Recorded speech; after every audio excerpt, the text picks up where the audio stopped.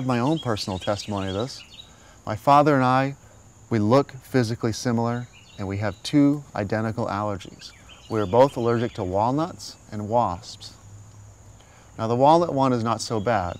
As a kid growing up, I would know if something had walnuts in it, say some banana bread or some cookies, if they didn't tell me, because 20 minutes later my mouth would erupt in canker sores. And it's pretty painful. But my father and I are also both deathly allergic to wasp stings. And before I knew about urine, my father experienced this too.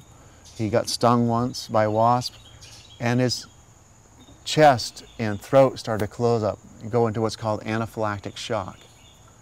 Luckily, he got to a hospital at time and they calmed him down manually. Same thing happened to me couple of years before I knew about this trick with urine therapy.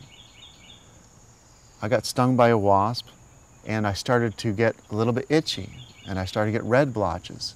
And I said to my friend, I said, I think you better take me to the drugstore to get some Benadryl and, and antihistamine. So we're on the way to the drugstore and my chest started to constrict. And I said, no, I think you better take me to the hospital.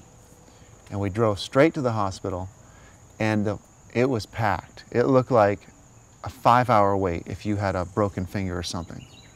I went to the front desk and I told them what was wrong. I told them I, was having, I thought I was having anaphylactic shock to a wasp sting. They took my name, told me to sit down. I wasn't sitting but five to seven seconds before they said, Andrew Webber, and they called me. And I was immediately surrounded by five doctors and nurses. They put a liquid Benadryl in one arm, they put a liquid IV in the other, they put oxygen to my face, and they manually calmed me down. Because anaphylactic shock can take you over in five minutes, 15 minutes, or 30 minutes. It varies every time, but the whole body can just shut down. And so after that, he prescribed me an EpiPen, and I was terrified to go out in nature, because who knows? Or, you know, what if I forget it, or going for a walk, or I'm in downtown, or wherever, and I get stung by a wasp for whatever reason.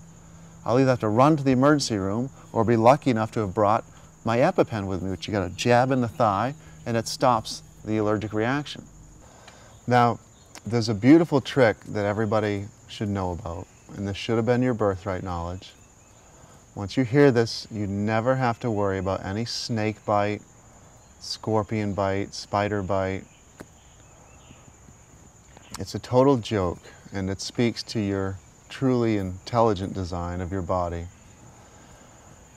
Seconds after any poison enters your bloodstream, the antidote will be in your urine and all you have to do is pee out a little bit into your hand, put it in your mouth, and hold it under your tongue.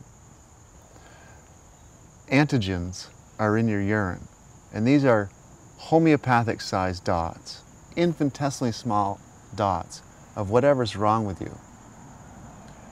And even on a daily basis, the most minimal thing you can do to have the biggest impact is to put 10 drops under your tongue once a day of your urine and just hold it there for 10 minutes. These two lymph nodes under your tongue produce antibodies and they study the antigens in your urine. And so if you have the flu, there'll be flu antigens in the urine. And this is the most that you could say, you know, when you talk about, people want to talk about the urine being toxic. These are so small, they work just like vaccines. They aren't big enough or enough of the poison to hurt you, but they are enough to let the lymph nodes get an education.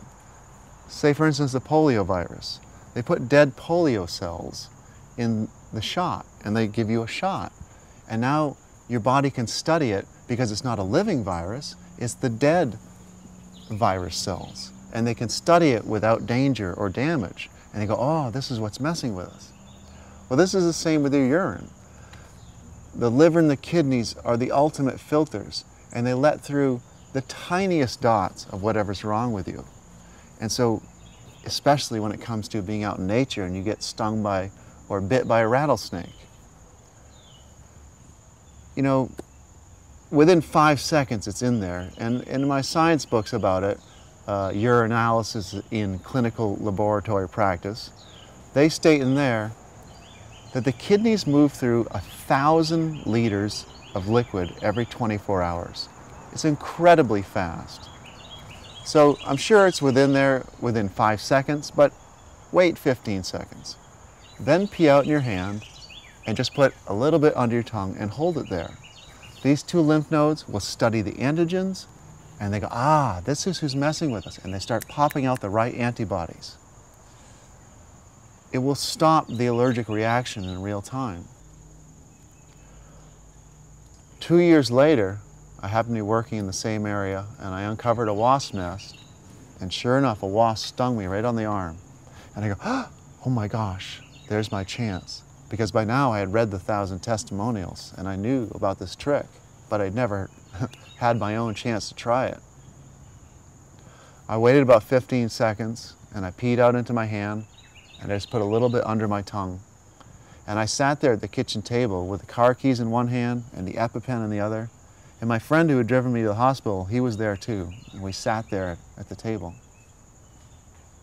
10 minutes went by, 20 minutes, 30 minutes, 40 minutes. Nothing happened. Absolute silence on the part of the body.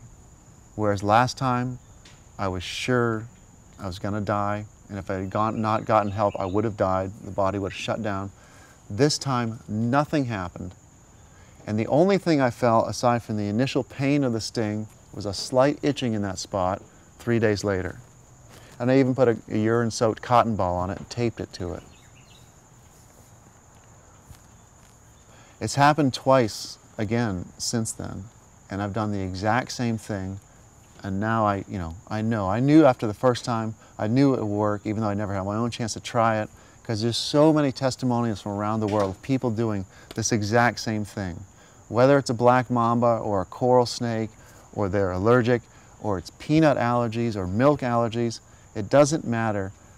This is a trick that you can always correct in the body with this one simple method. And not only will it stop a, an allergic reaction in real time. But you can make a homeopathic formula of your urine when you're having the height of the reaction. There's a lot of those antigens in your urine, or bits of data if you want to call them that. And so you can take just one drop of your urine during that allergic reaction and save it and put it into two tablespoons of pure water or pure alcohol if you like, any of the white liquors, gin, rum, vodka, and you succuss it that means to shake it vigorously 50 times. And that perfectly distributes that one drop of urine throughout those two tablespoons of either pure water or pure liquor. Now, put five drops under the tongue, say, three times a day, until that bottle is gone. And what you're doing is you're continually giving yourself a homeopathic dosage of that lesson, of that poison. And so the body actually learns to never have the reaction in the first place. And you could do this with anybody that's suffering, especially these children who can't even go near lunchrooms with peanut allergies or, or milk allergies. You can make a, this formula and completely erase the allergy. The people do not have to suffer these allergies for life. And the sodium fluoride in the water is almost entirely responsible for all the allergies especially the gluten allergies, and that too can be erased. Sodium fluoride dissolves the hydrogen bonds in between your DNA. You know, the double twisted helix shape and you got the ladder rungs? Those are hydrogen bonds. And sodium fluoride literally dissolves the hydrogen bonds and your DNA unravel. This is why the body is making mistakes. It's because the DNA has been strongly damaged. But you can correct this knowledge, you can correct this mistake by using your own water, which has the information in it.